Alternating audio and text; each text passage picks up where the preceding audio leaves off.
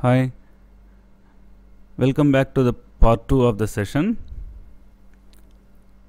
As we have discussed, we are going to use a potentiometer, which is also referred as a, you know, rotary angle sensor. As you can see, the simple setup here. The variable resistor has a two ends.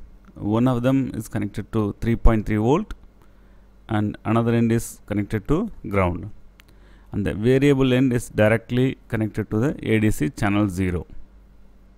So what happens when you move the contact which is there in the variable resistor 0 to 5 volt sorry 0 to 3.3 volt will be going to the ADC.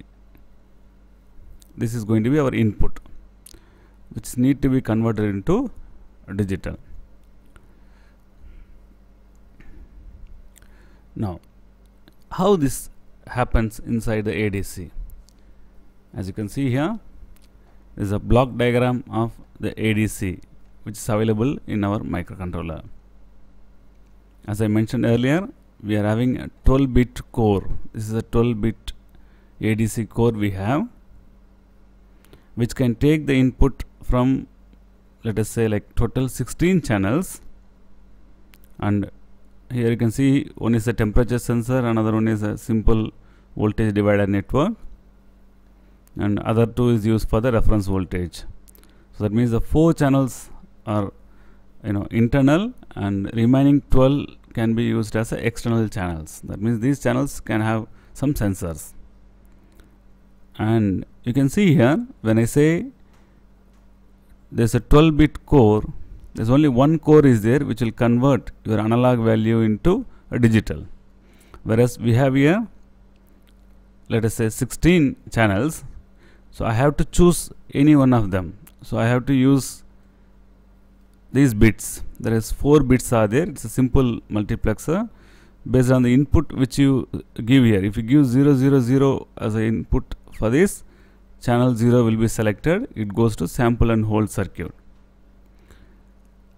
once this unit receive a signal saying convert it start converting as I discussed in my previous video. Whereas this conversion needs the reference voltage. There is a huge section. This helps us to program the reference voltage. You can see we can choose 1.5 2 or 2.5 or analog VCC we can program and also we can select whether you want 1.2 or you want 2.5 so we have a programmable and selectable reference voltage which can go to the ADC system. Please understand the ADC conversion is always happens with respect to the reference voltage. If we change the reference voltage is nothing but like you know like from lower value if you increase to a higher value you are like zooming out. And the other way around you are zooming in. It is also possible you know. You may need to spend some time to read and understand about the purpose of reference voltage. Well and other section of ADC we have here the clock. As you have seen in the excel sheet demonstration it is possible to convert by trial and error. Like uh, first bit as a 1 then it goes on to second bit then third bit this happens with respect to the clock cycle. As per the data sheet you may observe which need 13 clock cycles to finish the 12 bit conversion. Okay so what is that clock here? The clock which we feed has to be little slow. It can't have uh, the same speed of our system clock and we also discussed in our lab exercise earlier there is a clock from 32768 crystal and from 4 megahertz crystal. You have an option to choose these clocks. Okay? Again we have a clock selection bit. Since these clocks really uh, relatively very high you know speed this can be divided okay so we have a divided by 1 and divided by 4 this is called as a pre pre-scale divider. So after that again we have a main divider. There is a three digits. That means 000 to 111 so that means maximum divider is 8 that means these two dividers are in series. That means you can get a maximum multiplication factor of 8 multiplied with 4 is going to be the maximum divider of the input clock.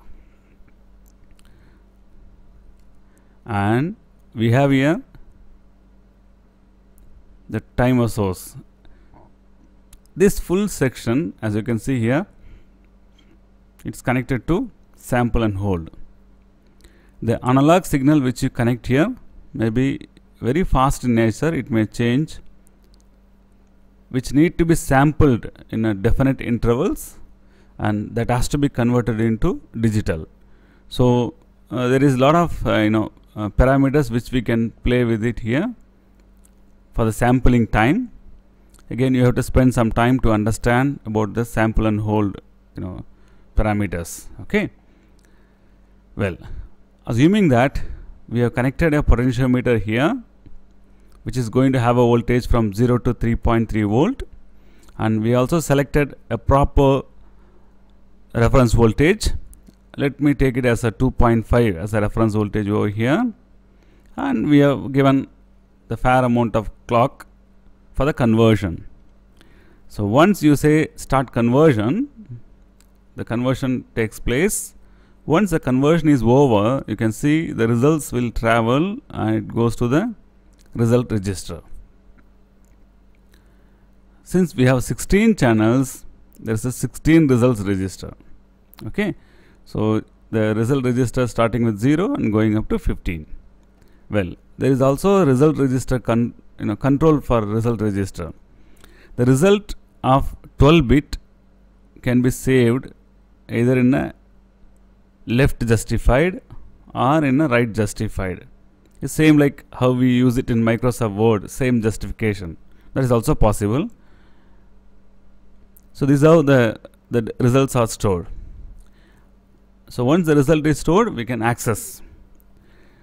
Basically the ADCs can be programmed using a polled mode or in an interrupt driven. In this lab session we are going to use polled mode only. So you may have a, a, fair idea now the block diagram and the function of each block. Just have a look at it. The various you know points which I explained. These all the ex extract from the data sheet which I have shown you earlier. This is the data sheet. All this information has been taken from the data sheet. You may also refer to this data sheet for more information. If the ADC is on, on you may need to have a different combinations. That means we have a single channel which can be converted once or continuously or we have multiple channels can be converted once or continuously.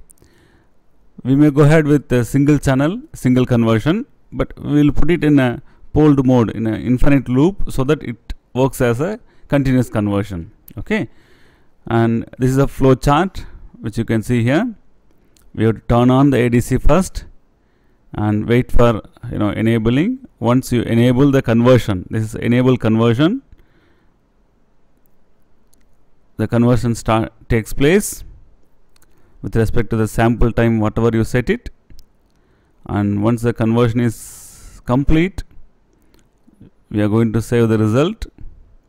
Again we have to restart the enable conversion or start conversion. Any one of them we have to restart. Or together also we can do. Okay? If we restart the conversion will takes place. This we will do it in a infinite loop. So we are able to read the input from the ADC channel and we can convert into digital. There are few tasks are there which you have to read and you know do it with referring to the data sheet since the ADC has many functionalities like uh, you know the changing the resolution switching on and also changing the reference voltage there are so many functionalities are there. As you can see here the first one with respect to the control register 0 how to switch on the ADC system. So you may need to refer to the document of the ADC and find out the registers which is available see these are all the registers is ATDCTL 0 and this says about start conversion. This enable and there are so many other parameters. And it has given here 0 means what uh, 1 means what. Okay. So this is how you can turn on the ADC and this is how you can turn off the ADC this is given. So you may need to fill up the binary values for these particular questions. Okay. So you may try to answer these questions here and this is your program. I just give you the you know, you know, you know the simp simplified version. See we take the voltage from the potentiometer convert them into digital. That means it's a decimal value you know. For us decimal maybe let us say for system is a digital. Since in our launchpad we have no other hardware in which we can display the result we need to uh, transfer the data into serial port. Whereas the serial port data has to be in ASCII. Then only it can be you know readable in a serial window. So what we have done is we used in our the previous lab exercise that means we use the complete you know serial port as it is to initialize and transfer the data the serial port and then we also used the serial data transfer the function as it is.